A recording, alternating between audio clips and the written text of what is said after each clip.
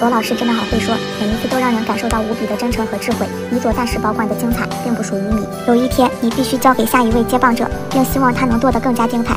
新的接棒者不断涌现冒头，希望接棒者能够越来越优秀。我们不过在切开的时间中生活，你所暂时保管的精彩，并不真正属于你。有一天你必须交给下一位接棒者，并希望他能做得更加精彩。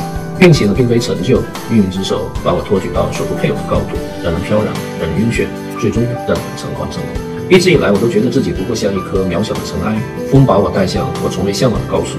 相信有一天，它也会把我轻放在生命陌生的他处。